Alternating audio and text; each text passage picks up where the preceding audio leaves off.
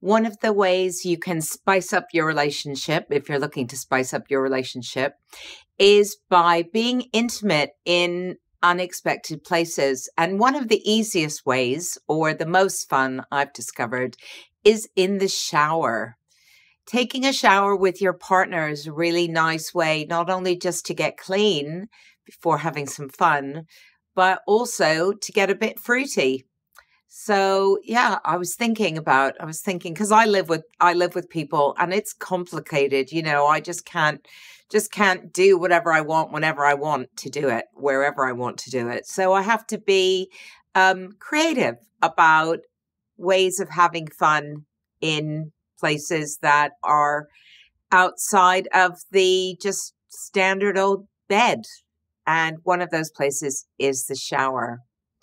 Give it a give it a shot. See what you think.